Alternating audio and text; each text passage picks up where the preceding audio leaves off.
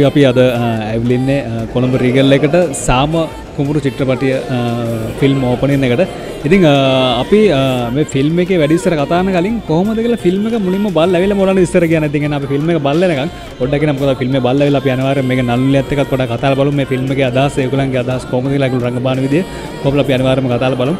ඉතින් ඒත් එක මතක් කරනවා අනිවාර්යෙන්ම අපේ ආයුටු YouTube channel එක subscribe කරලා bell එක ring කරලා තියාගන්න. මොකද මේ වගේ programs ගොඩක් අපි ඉදිරියට උලන් අරන් එනවා. ඒවා අනිවාර්යෙන්ම නරඹන්න පුළුවන්. ඉතින් අපි බලමු ෆිල්ම් එක බලමු කියලා. අවිලා බණ්ඩාර. ඉතින් හැතරම මේ සාම චිත්‍රපටයේ මගේ චරිතය තමයි පාරිකා කියන චරිතය ඒ කියන්නේ සාම කුමාරයාට උත්පත්තිය ලබා දෙන මව තමයි පාරිකා කියලා කියන්නේ. ඉතින් ඇත්තටම මේ චිත්‍රපටය මට ලැබුණාම ලොකු චකිතයක් ඇති වුණා. මම කොහොමද මේ චරිතයට අවතීර්ණ වෙන්නේ කියලා. මොකද බුදු වෙන්න පෙරුම් පිරුව බෝසත් චරිතයකට පනපොවන දරුවෙක්ගේ අම්ම කෙනෙගේ චරිතයක් නිසා. ඉතින් මුලින්ම මම කරපු දේ තමයි ඉස්සලම සමජාතකය කියවූ අරගෙන. මම ජුවේ පල්ලිගුරු. දෙදස් දොළහේ සුපසික්ෂිත්‍රපට අධ්‍යක්ෂණ තම සිනමාට පිවිසි. ඊට පස්සේ දෙදස් දාහත වර්ෂය මම චිත්‍රපට නිෂ්පාදනට එළඹුණා. ඒ පැනිමකුළු චිත්‍රපටේ මේකමගේ දෙවන නිෂ්පාදනය. සාම කුමරු කතාව. නිෂ්පාදක වශ මට හිදිචි දෙයක් තමයි අපි දකිනවා. අපිත් රූපහනය ටිලනට අධ්‍යක්ෂණය කරනවා නිෂ්පාදනය කරනවා. අපි ගත්තොත්තේ මද සමාජයේ දවාදරුවන් දෙමාපියන් මේ හැමෝම දිරසකේ වෙන්වීම තම දකි නිර්මාලයෙන් ගත්තත් එම දවාදරුවන් ගෙවලින් පැනල යනවා අම්ල අතරක රණ්ඩු වෙනවා. අපි අපි පොඩි කාලේ දැකපුේ ගුණවත්කං ඒ සදාචාරකං විය කියන කාලයක ඉතින් නිෂ්පාදක කර මට හිතුන සුදුසුම දෙයක්තව මේ වගේ කාලෙකට සාමකුමරු කතාව විතරපටය මගේ කුළුදුල් සිනමා නිර්මාණය. ඇත්තටම මේක බෞද්ධ ඉතිහාසයේ දෙමවපියන්ට සැලකීමේ ගුණය ගැන නිර්මාණය වෙච්ච ඉතාම වැදගත් වටනා නිර්මාණයක්. ඉතින් මම ප්‍රේක්ෂකයන්ට කියන්නේ ඔබේ දරුවන් එක්ක ඇවිල්ලා මේක බලන්න. මේක දරුවන්ට හොඳ ආදර්ශයක් ලබා දෙන නිර්මාණයක්. ඉතින් විශේෂයෙන්ම මම කියනවා මේ දෙමවපිය විදිහට ඔබේ දරුවන් එක්ක ඇවිල්ලා මේක පෙන්නලා ඔවුන්ට මෙහි තියෙන වටිනාකම කියලා දෙන්න කියලා. ඒ වගේම මෙහි මෙහි රංගනයෙන් දායක වෙච්ච ප්‍රවීණ නවක නළුනිලියන්ට මං ඒ වගේම කාර්ය මණ්ඩලයට ස්තුතිවන්ත වෙනවා. ඒ වගේම විශේෂයෙන් UA පල්ලිගුරු මහතාව මතක් කරන්න ඕනේ. මොකද එතුමා අධ්‍යක්ෂකවරයෙක් විදිහට නවක නළුනිලියන් රැසකට අවස්ථාව ලබා දුන්නා. ඒ වගේම දැන් නිෂ්පාදකයෙක් විදිහටත් අපිට නවක නව නිෂ්පාදකයන්ට ගොඩක් අවස්ථාව ලබා දෙනවා. ඉතින් ඔහුව විශේෂයෙන් සිහිපත් කරන්න ඕනේ මේ කටයුතු සාර්ථක සාර්ථකව නිම කරන්න. මම දේශනී කුමාරියෝ රාජපක්ෂ.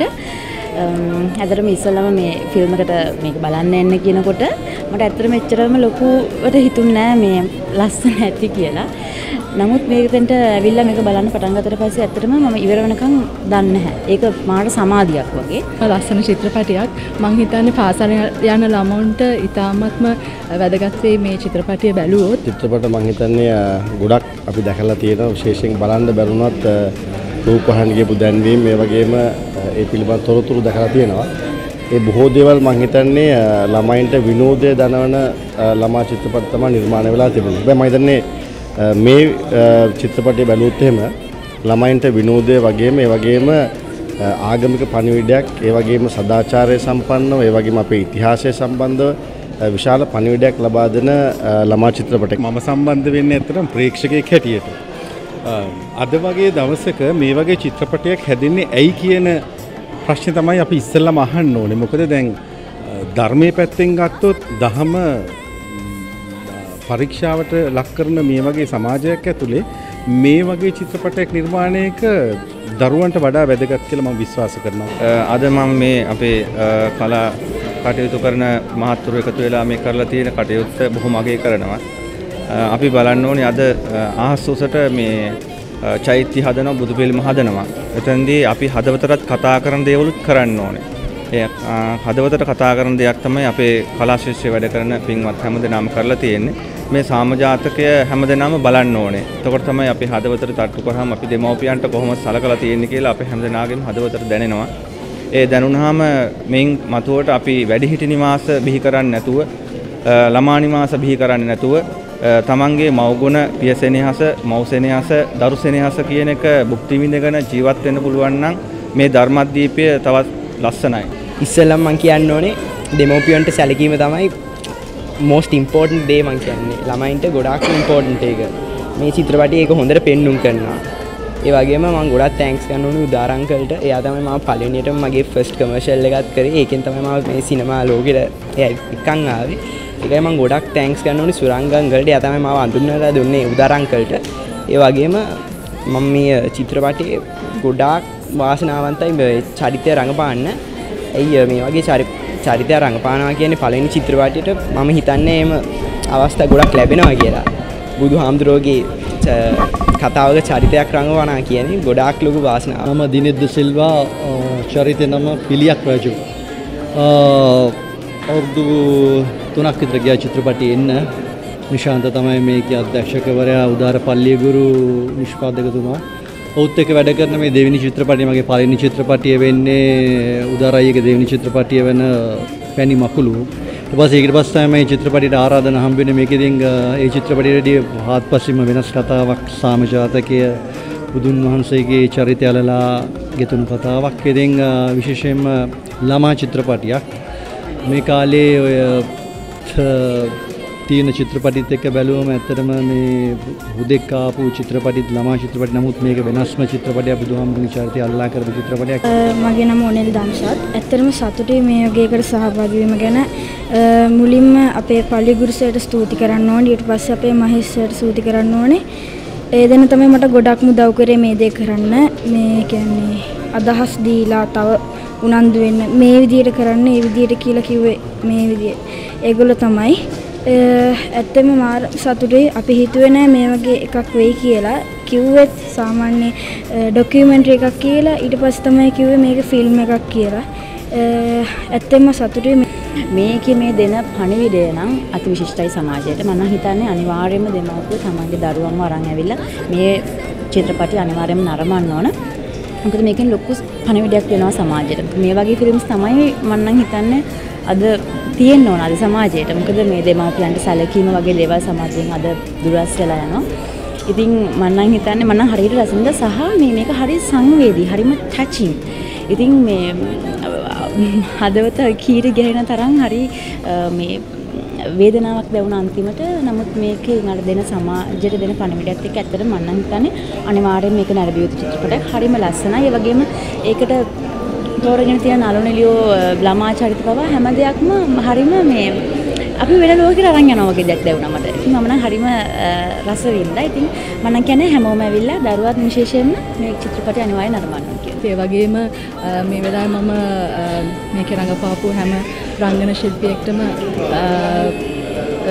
සුබ පතනවා. ඒ වගේම උදාරයියටත් මම ගොඩක් ස්තුතිවන්ත වෙනවා මෙවැනි චිත්‍රපටයක් ලංකාවේ සිනමාවට දායද කරපු එක. ඉතින් මං කියන්නේ හැමෝටම ඇවිල්ලා බලන්න කියලා. පොඩි කාලේ කියවලා තිබ්බට කියවලා තිබුණ නැහැ. ඉතින් ඊට පස්සේ මම ඊළඟට කරපු දේ තමයි මස් මාංශ වලින් තොර වෙලා ගොඩක් උත්සාහ දරුවා කතා කරන වචනයක් පවා හරි වචන කතා කරන්න බොහොම ධාර්මික වෙන්න ගොඩක් හැම පැත්තෙම උත්සාහ කරා. එහෙම උත්සාහ කළා තමයි මේ චරිතයට අවතීර්ණ වුණේ. බොහෝ දුෂ්කරතා මාධ්‍ය තමයි මේ චරිතය ඇත්තටම ගොඩනගන්නට අපි සියලුම දෙනා මුළු ක්‍රූ එකම වෙහෙසුනේ. ගොඩක් වෙලාවට කකුල් වල දියපට්ට එන තරමට අධික උෂ්ණත්වයක් තිබුණු කාලෙක තමයි අපි මේ චිත්‍රපටයේ රූපගත කිරීම සිද්ධ කරේ මහනුවර දිගන ප්‍රදේශයේ වගේම තව ලොකේෂන්ස් කිහිපයක මේ රූපගත කිරීම කරා අධික වෙහෙසක් දරලා රංගපෑමෙන් එකතු වුණ මගේ ප්‍රථම සිනමා චරිතය තමයි පාරිකා කියන්නේ මේ සාම කුමාරයාගේ කතාවේ චරිතය. ඉතින් ඇත්තටම මම ගොඩක් මගේ මවට ආදරේ මගේ පියාට ආදරේ චරිතයක්. ඉතින් ඒ හින්දා මං හිතනවා මේ මව්වත් ගුණය මට මේ චරිතය රැකගන්නට යම් තාක් දුරකට මට අවකාශය ලැබුණා ඒක. ඉතින් ඒ හින්දා මං ඔබ ඔබට දරුවෝ ඉන්නවා නම් අනිවාර්යයෙන්ම රැගෙන එන්න කියලා ආරාධනා කරනවා. මොකද දෙමව්පියන්ට සැලකීමේ ආදීනව මෙතකයි කියලා අපිට කියන්න බෑ වර්තමාන සමාජයේ බොහෝ වෙලාවට දෙමව්පියන්ට ගොඩක් වෙලාවට මහලු නිවාසවල වැඩිහිටි නිවාසවල දුක් විඳින්න සිද්ධ වෙලා තිබෙනවා මේ ගුණවත්කම් අපේ සමාජයෙන් ගිලිහිලා ගිහිල්ලා තියෙන නිසා. ඉතින් ඒ හින්දා ඔබට ඉතාමත් ආදරෙන් ආරාධනා කරනවා ඔබේ දරුවාට මේ චිත්‍රපටය පෙන්විය යුතුමයි.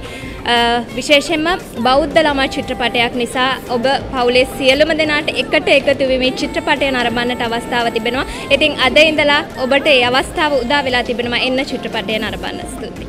හන්දයා සුද්ද වගේ චිත්‍රපට අරනකොට දරුවන් වෙනුවෙන් හදන චිත්‍රපට වැඩිහිටි ඇසකින් තියෙන චිත්‍රපටයි තියෙන්නේ.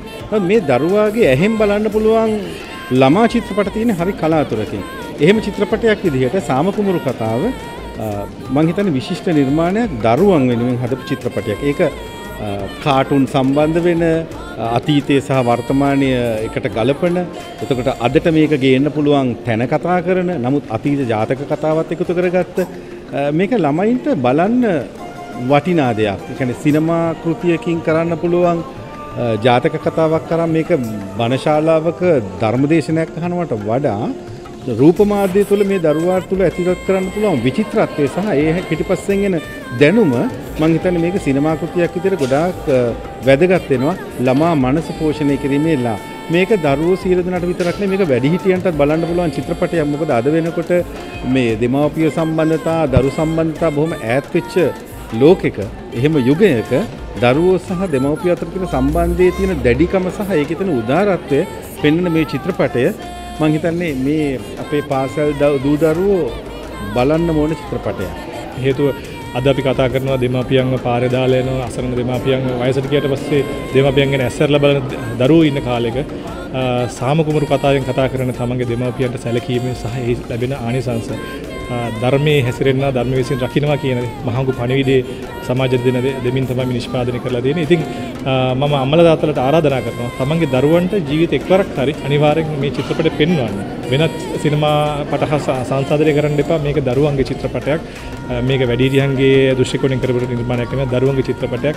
මේක වරක් කර ඔබ දරුවන්ට පෙන්වුවොත් ඔබට දැනේවි දරුවන්ට පරිසරය ගැන දෙමාපියන් ගැන ඒ සංවේදීතාවය ඇති කරගන්න පුළුවන්. ඒක තමයි දරුවන්ගේ යහපත සහ දෙමාපියන්ගේ අනාගතයටත් රුකුලක් වෙන්නේ. සාම කුමරු චිත්‍රපටයේ සියලුම නල්ලුලැන් එක කතා කරා ඉතාමත් හොඳ චිත්‍රපටයක්. ඉතින් අද අපි ආයුටීවේ චැනල් එකෙන් දැන සමුගන්න හදන ඉතින් මේ වගේ තවත් ෆිල්ම් ඕපනිං එක හම්බෙනකම් දැන්න සමුගන්න ඔගොල්ලෝ සියලුම දැනට ජය.